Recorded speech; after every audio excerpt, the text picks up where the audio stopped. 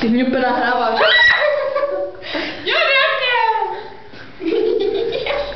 Udělej z toho i fotku.